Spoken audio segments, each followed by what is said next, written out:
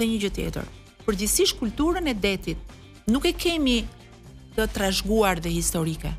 Dhe aktivitetet e turizmit në det janë aktivitete të reja me të cilën edhe ata që ushtrojnë dhe ne me të cilën bashkëjetojmë nuk kemi mësuar. Nuk kemi mësuar mm. Për shembull në vitet 90 numri kur u futën makinat, numri i aksidenteve ishte shumë i lartë.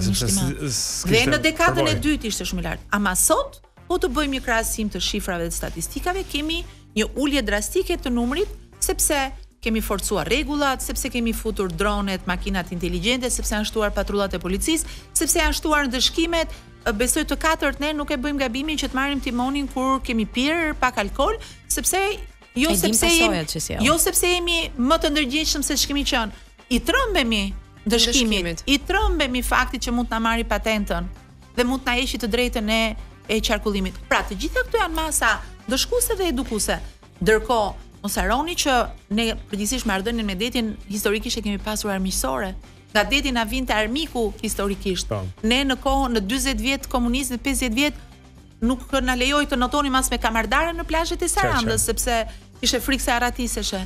Kemi pas 8 vjet moratorium dhe kemi vetëm 4-5 vjet. Megjithatë, në vitin 2020, ndërkohë sa të mësohemi, a do të ketë më shumë shtim të masave të sigurisë sepse pa tjetër, edhe në rrjetet sociale kërkohet ja t'ju them që në vitin 2020 është miratuar ligji për turizmin detar, të shumta. Është miratuar, ka pasur më pak se sa vjet sepse bëhen lajm vetëm mbytjet, më mhm. besoni, mm -hmm. por vrojtuesit e plazheve kanë shpëtuar me dhjetëra jetë këtë këtë sezon. Unë i di se i kam statistika, por mediat nuk flasin, flasin vetëm për rastet dhe shumë herë mbytjet nuk janë për mbytje.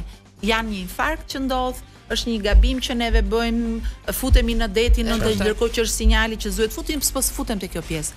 Por në vitin 2020 kemi miratuar ligjin për turizmin detar, kemi miratuar të gjithë paketën e akteve nënligjore për stacionet e parkimit të mjeteve lundruese për turizmin detar, për mënyrën se si duhet pajisen me certifikatë operatorët e turizmit detar.